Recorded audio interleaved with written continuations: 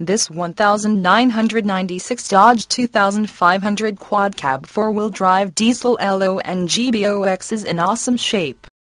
I have personally driven this truck and she gets up and going very nicely. Body is in, body is in great shape with none of the typical Dodge rust issues.